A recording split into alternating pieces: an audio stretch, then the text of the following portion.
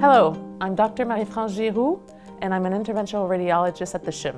Interventional radiologists are experts at putting in what we call IVs, or intravenous devices, into patients. We insert these venous devices to treat different conditions. For instance, we use PICC lines um, to give long-term chemotherapy, um, antibiotics, uh, nutrients.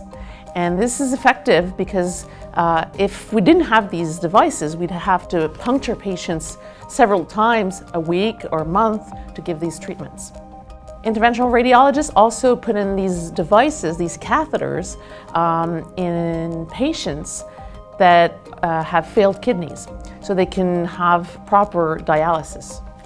Venous accesses that we put in are also used for different treatments. For example, apheresis that we use for patients that have uh, blood diseases or bone marrow transplant.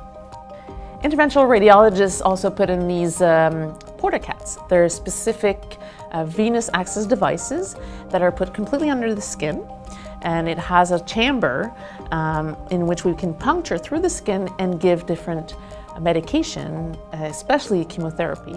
And these are long-term venous accesses. Uh, I have a patient that had it for 25 years and it's been functioning. And the main advantage of this device is that there's very low risk of infection and patients can act as if it wasn't there. They can go swimming, they can bathe without a problem, and that's a huge advantage for them. During the insertion of these venous devices, we use um, different tools, one of them being live x-ray fluoroscopy, so we can make sure that the IV is in proper position. Uh, we can use ultrasound to find veins that nobody else can find uh, in these patients that are so-called impossible to access. And that not only gives an access to the patient, uh, which is mandatory, but also reduces the risks of complications.